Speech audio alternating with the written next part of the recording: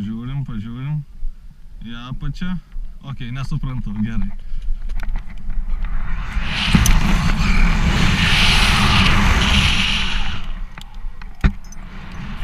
Ok.